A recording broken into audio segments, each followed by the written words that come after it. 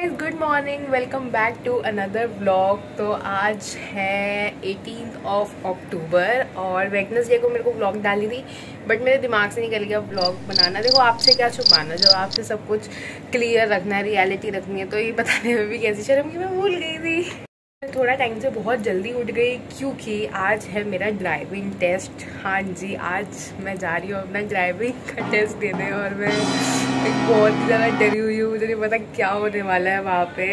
भी होगा अच्छा ही होगा, बाकी देख लेंगे कि क्या होगा बट मेरे को पूरा कॉन्फिडेंस है खुद पे कि यार मैं कर लूँगी, इतना टाइम मुझे हो चुका है तो आई थिंक मैं कर लूँगी। तो फटाफट से चलते हैं, अपनी गाड़ी को उठाते हैं पार्किंग से और चलते हैं। ये तो हम निकल चुके हैं अपने ड्राइविंग टेस्ट के लिए और बहुत ज़्यादा घबराहट हो रही है यार। मेरी मम्मी आई है साथ में। मेरे पापा का प्लान था आने का बट वो नहीं आ सके। इसलिए मम्मी जी आई हैं हमारी।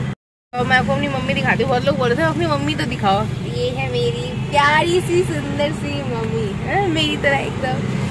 तो हम जा रहे हैं और बहुत डर लग रहा है।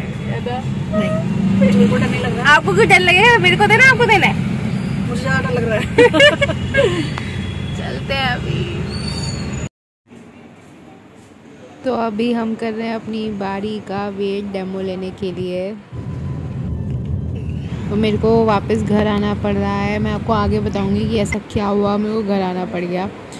मेरा मूड बहुत ही ज़्यादा एक चीज़ से ख़राब हो गया था। मेरे साथ बहुत बुरी चीज़ हो गई वहाँ पे, जो आप सोच नहीं सकते। कि मेरी मम्मी मेरा मूड खरे के लिए मेरे को मैकडोनल्ड्स लेके आई वहाँ पे मेरे को फ्राइज़ खिलाने के लिए। घर पे आ गई हूँ। बिल्कुल हिम्मत नहीं हो रही है कुछ भी करने की। तो मैं आ गई हूँ घर फाइनली बहुत देर के बाद एंड मूड बहुत ही ज़्यादा ख़राब हो गया मेरा। क्योंकि मेरा ड्राइविंग टेस्ट एक तरह से हो ही नहीं पाया, मैं अगर आपको पूरी कहानी बताऊँ तो सब कुछ ठीक था, मेरी गाड़ी एकदम बढ़िया चल रही थी। कोई ऐसा इशू नहीं था। मतलब मेरे डॉक्यूमेंट्स वगैरह सबमिट हो गए थे मेरे को। मैं वहाँ पे लाइक दस बजे पहुँची थी और साढ़े बारह बजे जाके मेरा नंबर आया था ड्राइविंग टेस्ट के लिए। ड्राइविंग सेंटर से बाहर खड़ी हुई थी क्योंकि अंदर पार्किंग की जगह नहीं मैं अंदर लेकर आई हूँ। मैंने पार्क करी कि मैं अपनी नाम की वेट कर दी कि कब मेरा नाम आएगा तो फिर मेरे को अंदर अपना टेस्ट देना है अच्छे से। मैंने वहाँ गाड़ी औरों की तरफ़ पार्क करी ऑफ़ करी गाड़ी। करीब मेरे को 20-25 मिनट हो गए अपना नाम की वेट करते हुए। फिर एक नाम सुनाई दिया मुझे तो मुझे पता लगा कि इसके बाद मेरा ही नंबर होने वाला है। आज मैंने अपनी गाड़ी स्टार्ट करी। मेरी गाड़ी स्टार्ट ही ना हो स्टार्ट ही ना हो स्टार्ट ही ना हो अब मुझे समझ नहीं आ रहा कि ऐसा क्या हुआ कि मेरी गाड़ी स्टार्ट क्यों नहीं हो रही है। अपनी गाड़ी स्टार्ट करूँ, वैसे ना टक टक टक टक टक टक आवाज़ आ रही और लिखा हुआ है break mail function break mail function तो मुझे ऐसा लगा कि शायद ब्रेक में कुछ प्रॉब्लम हो गई है, जिस वजह से मेरी गाड़ी स्टार्ट नहीं हो रही है और स्टार्ट करते हुए बहुत ही ज़्यादा ऐसे अजीब सी आवाज़ आ रही है कि गाड़ी स्टार्ट नहीं हो रही है, कुछ भी नहीं हो रहा है उसमें।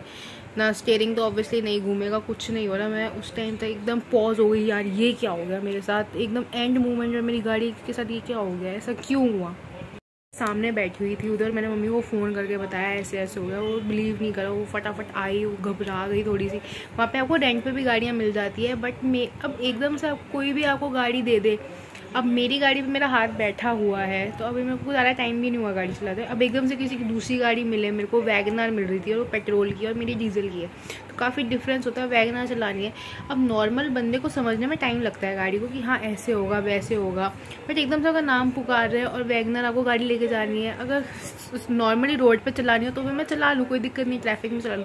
बट एकदम से किसी नई गाड़ी में आपको बोले एट बनाओ एस बनाओ रिवर्स करके पीछे लाओ पैरल पार्किंग करो, ऐसे करो तो मैं एकदम से कैसे करूँ? मैं तो वैसे ही कन्फ्यूज़ हो जाऊँगी।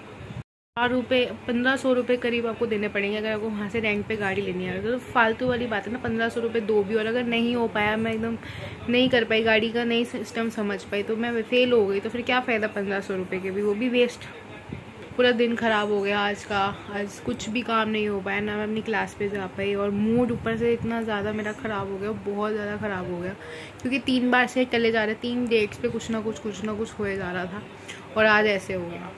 आता है, जो होता है अच्छे के लिए होता है। मैं तो हमेशा ये सोच के चीज़ें को चलती हूँ, जो होता है अच्छे के लिए। हो सकता है इसमें भी कुछ अच्छा ही हुआ हो। में ट्राई करेंगे ड्राइविंग टेस्ट का क्या है, क्या नहीं, और अभी थोड़ा सा टेंशन फ्री हो जाते हैं। तो मेरा मूड काफ़ी ख़राब था तो मम्मी मुझे मैकडोनल्ड्स ले गई। चलो कुछ खाते हैं। हमने वहाँ पर फ्राइज़ और पेप्सी पी के घर आ गए, बस। तबीयत भी मेरी ठीक नहीं है, ख़राब हो रही थी आज सुबह ही। सोचो एक घंटे का नैप ले लूँ। थोड़ा सा मन को भी शांति मिल जाएगी मेरे को, क्योंकि मूड तो ख़राब हो ही रहा है थोड़ा। इसलिए।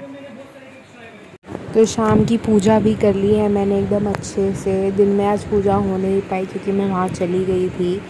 और पूजा कर दी है मूड एकदम बढ़िया हो गया है। आरती भी लगा दी है तो एकदम पॉजिटिव हो चुका है माहौल। कन्नू भी आ गया है ट्यूशन से चाय पी रहे हैं हमारे सर जी। शाम की चाय वाय एकदम कड़क आज मम्मी ने चाय इतनी बढ़िया बनाई थी ना सारा थकान हाँ। सारी स्ट्रेस उतर गया उस चाय से। एंड कन्नू कन्नू को भी मैंने अपनी स्टोरी बताई। तो कन्नू आपका क्या रिएक्शन था मेरी स्टोरी सुन के? बहुत बुरा हुआ। बहुत बुरा हुआ। बहुत ज़्यादा बुरा हुआ है बहुत हल्का सा बुरा हुआ? बहुत बुरा बुरा बहुत बहुत और अभी जब मेरे पापा गाड़ी लेने गए ना वहाँ से मतलब वापस लेकर आनी थी आरटीओ के ऑफ़िस से तो जैसे ही वो बैठे और स्टार्ट करी तो गाड़ी स्टार्ट हो गई। बताओ। स्टार्ट हो गई मैकेनिक था वहाँ पे। उसने मतलब उसकी प्रेजेंस में स्टार्ट हो गई। तो उसने बताया कभी कभी हो जाता है ऐसे। मतलब कभी कभी तभी क्यों होना था? उसी टाइम क्यों होना था? बट कोई बात नहीं हर चीज़ में एक रीज़न होता है। पापा के बिना कोई काम पूरा हो नहीं सकता एक्चुअली हाँ मम्मी कह रही पापा के बिना कोई काम मेरा पूरा नहीं हो सकता। ये सच है। कि पापा होते तो शायद हो जाता। अब ये तो कहने वाली बात है। मम्मी भी थी पापा भी पता नहीं किस्मत की बात थी वो। कि उस वक्त क्यों नहीं गाड़ी स्टार्ट हुई उस वक्त क्यों खराब हुई? कुछ तो बात होगी। मेरे को मेरी डेट वापस तीन चार दिनों में मिल जाएगी या फिर एक डेढ़ महीने बाद वापस आएगी डेट अब पता नहीं मुझे क्या होगा क्या नहीं होगा but like see Bigg Boss तो हम शाम को ही देखते हैं। बिग बॉस नहीं जब आता तब नहीं ये जो बंदा है ना ये। अभिषेक। ये अभिषेक वाइट टी शर्ट वाले इतना बहुत ही ज़्यादा अजीब सा बंदा आ गया है यहाँ पे। इतना बक बक करता है इतना चिल्लाता है ना सबसे गंदा लगा मेरे को ये। इंस्टेंट है मेरा टहल का भाई। वो सबसे बढ़िया और लड़कियों में तो ऑब्वियसली अंकिता लोखंडे मुझे तो बाहुबली अच्छे लगे। बाहुबली जीतेगा बाहुबली कौन है? बाबू भैया सब बाबू भैया यूट्यूबर जो है यूके ज़ीरो सेवन देखते हैं अभी तो स्टार्ट हुआ है लोग तो पता नहीं क्या क्या बोल रहे हैं मुनवर जीतेगा ये जीतेगा वो जीतेगा। लेट सी मम्मी ने बनाए हैं कन्नू के लिए स्पेशल ब्रेड पकौड़ी क्योंकि ये आलू का पराठा नहीं खाता। इसलिए इसकी डिमांड है। कैसे बने हैं? अच्छे है ना? करते हैं अपनी ब्लॉग को एंड बहुत हो गया आज के लिए। आज थोड़ा सा ऐसा सही था मुझे इससे ज़्यादा मन भी नहीं कर रहा ब्लॉग करने का। जल्दी सोने की करते हैं, तैयारी दस बज गए हैं तो सो जाते हैं आज जल्दी। और मिलेंगे नेक्स्ट ब्लॉग में, जो जल्द आएगी। तब तक के लिए डोंट ट्रबल योर माता पिता एंड भारत माता। बाई